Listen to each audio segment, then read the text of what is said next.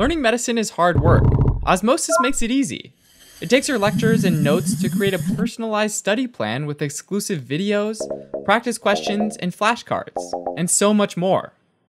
Try it free today.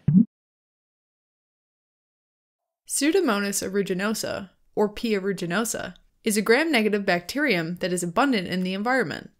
It tends to opportunistically infect high risk individuals and is well known for its multi drug resistance, making it hard to treat. P. aeruginosa is an encapsulated gram negative rod bacterium that's an obligate aerobe, so it uses oxygen for metabolism through cellular respiration. It does not ferment lactose and does not make spores, but it is catalase, citrate, and oxidase positive. It has a flagellum, kind of like a tail, at one end for motility, and it has multiple hair like appendages called pili all over to help with adhesion to other cells. It also has a number of multi drug efflux pumps that efficiently pump medications out of the bacteria, making it resistant to a variety of antibiotics. In addition, it's able to make beta lactamases that degrade beta lactam antibiotics as well as aminoglycoside modifying enzymes that alter aminoglycoside antibiotics, rendering them ineffective. In short, its defenses are strong.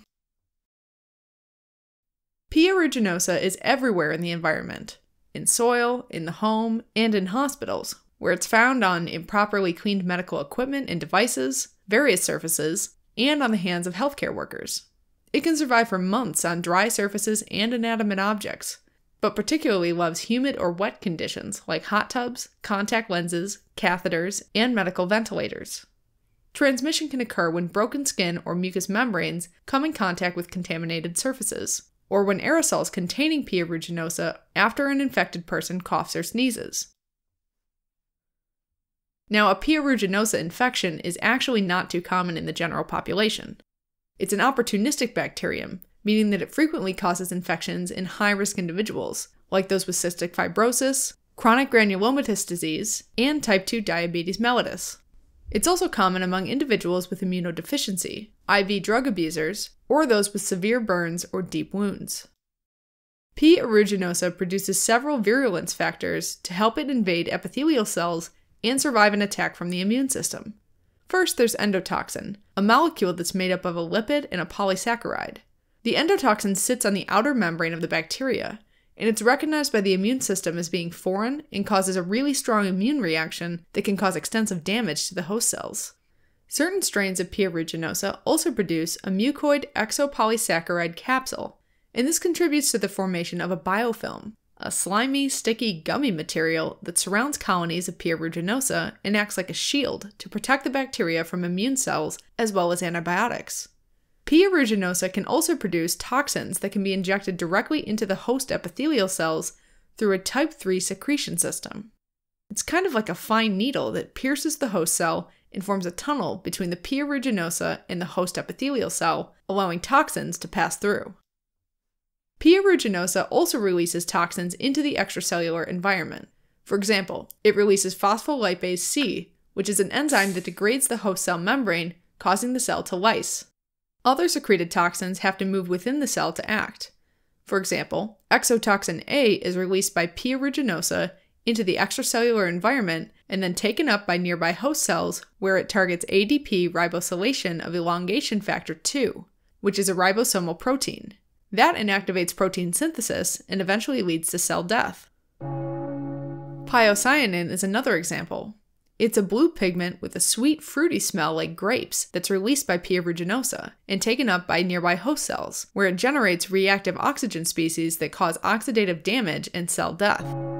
In the environment, pyocyanin is released by P. aeruginosa and it's taken up by microbes that are competing for nutrients in space and causes them to die as well.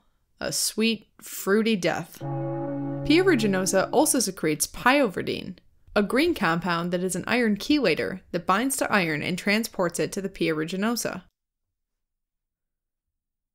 Symptoms of P. infection depend on the site of infection. Usually, there's a fever, an elevated respiratory and heart rate, and an increased white blood cell count. If the infection is in the blood, it can lead to septic shock. But there can also be localized infections, like an infection of hair follicles called hot tub folliculitis that can look like a red pimply rash. Burns or deep wound infections have a blue green color and a fruity grape like smell, and immunocompromised individuals can develop a skin condition called ecthyma gangrenosum that begins with blisters but rapidly progresses to tissue necrosis.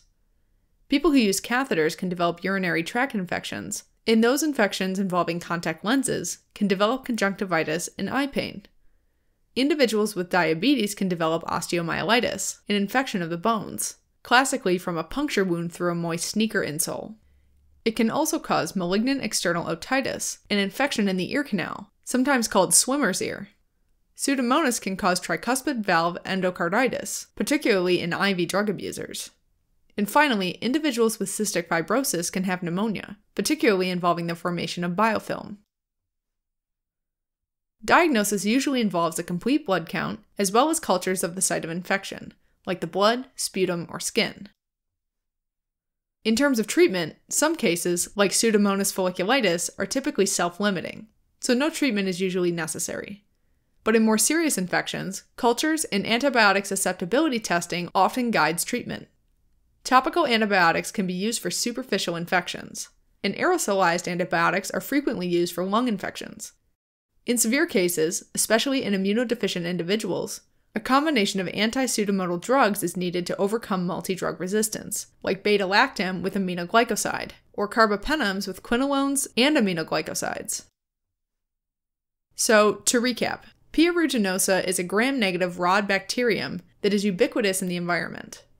Virulence factors contribute to key features of P. aeruginosa infection, including blue green color, fruity grape like smell, and formation of biofilms, which add extra protection to P. aeruginosa on top of its already notable multi drug resistance. It can cause a variety of diseases from hot tub folliculitis to ecthyma gangrenosum, osteomyelitis, and malignant external otitis, and also causes pneumonia in individuals with cystic fibrosis. Definitive diagnosis is made by cultures, and susceptibility data help identify effective antibiotics. Thanks for watching. If you're interested in a deeper dive on this topic, take a look at osmosis.org, where we have flashcards, questions, and other awesome tools to help you learn medicine. Otherwise, you can always support us by donating on Patreon, subscribing to our channel, or following us on social media.